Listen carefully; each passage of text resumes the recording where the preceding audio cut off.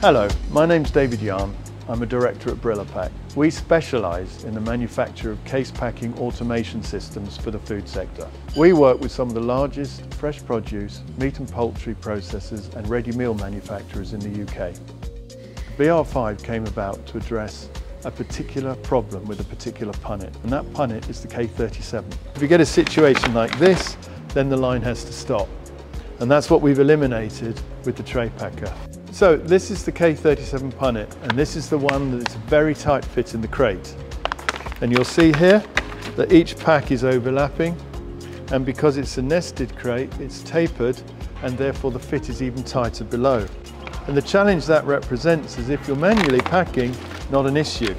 But if you're single packing, it will catch as it goes in and that causes a jam. And even if that's three or four times in a thousand, it's a line stop every six minutes. The BR5 is designed in three ways. Firstly, we manage the packs coming into the machine. One of the biggest causes of problems with packing is to actually manage products at very high speed into the system.